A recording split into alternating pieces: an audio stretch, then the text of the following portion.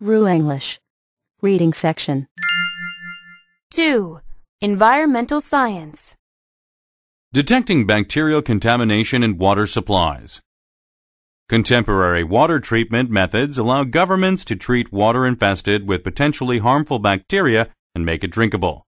While these methods make tap water entirely safe to drink, it is not practical to treat all of the world's surface water in this fashion.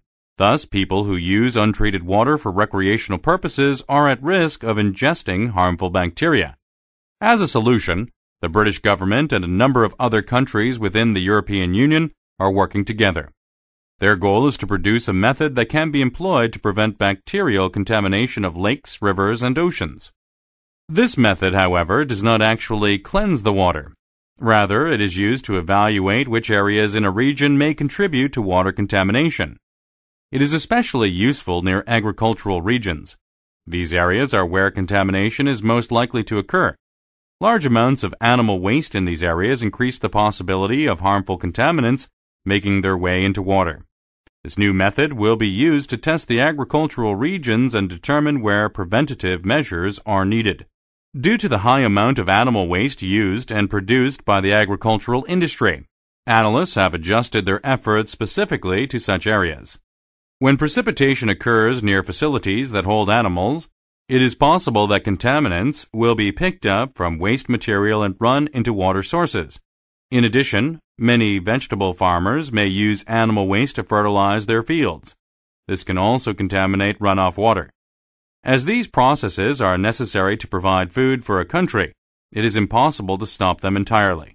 Instead, these new methods are being employed to locate particular spots that are most likely to cause contamination. These methods involve taking a number of soil samples from any given agricultural area and bringing them to a lab. The samples are analyzed to count bacteria. Those with particularly high concentrations of bacteria are matched with the region they were taken from. Researchers can then return to high risk areas and help local people take measures to prevent contamination by runoff. For instance, farmers might avoid heavily watering a high risk field. By watering high risk fields more frequently using less water, the risk of contamination by runoff is minimized. Since water is less likely to run out of the field this way, it is also less likely to work its way into public water sources. The methods can also be adjusted in regions where water pollution is already occurring. Finding the most intense sources of pollution allows experts to focus their attention on the few areas that need the most work.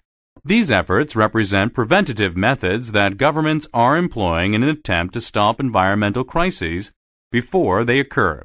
In using this mode of analysis and responding accordingly to the results, a community can pinpoint sources of serious pollution. They can then address them before their water becomes contaminated. In the long run, these efforts will prove valuable in preventing sickness and making water safer to use for recreation.